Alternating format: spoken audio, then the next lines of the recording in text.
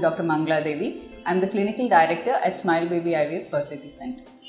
Laparoscopy or keyhole surgery is quite common to treat several causes of infertility. Laparoscopy is a very useful surgery as it can not only be used for treating infertility but it can also be used to diagnose several causes of infertility. There may be so many factors that are present in the abdomen and pelvis that we may fail to detect through our common tests. Hence, a diagnostic laparoscopy will add value in detecting the cause of infertility. Apart from that, there are several conditions that laparoscopy can help to treat, such as, for example, a fibroid in the uterus that may be causing a tubal distortion or distortion of endometrial cavity or tubal block can be treated easily with laparoscopic surgery. When the fibroid is removed, the infertility causing factor can easily be treated. Then there are several other conditions such as polyps or endometriotic cysts which again require removal for treatment. And this can be done most ideally with the help of a laparoscopic surgery along with several other medications.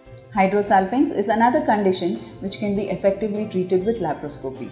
Sometimes a hydrosalpinx may not even be diagnosed with the other tests, in which case a diagnostic laparoscopy will show us the presence of a hydrosalpinx. This hydrosalpinx may be due to infection or due to tubal block, and it is always wise to remove this hydrosalpinx as it may not only help in curing infertility but in addition it may also contribute to the success of IVF. The presence of a hydrosalpinx is seen to lower the rate of IVF success. So that is why removal of a hydrosalpinx or just clipping may add to the success of IVF. Then there are several other conditions like polycystic ovarian disease which is very very common nowadays. So laparoscopic ovarian drilling can help a person with PCOD ovulate spontaneously and thereby contribute to the success of fertility treatments.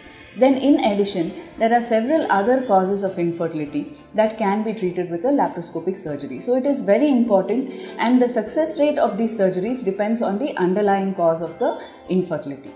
Laparoscopic adhesiolysis has also seen to contribute to success of infertility procedures. So when these adhesions are released, almost 70% of patients conceive spontaneously. Hence laparoscopy is a very very useful tool in the treatment of infertility. To watch more videos, please subscribe to Doctor Circle.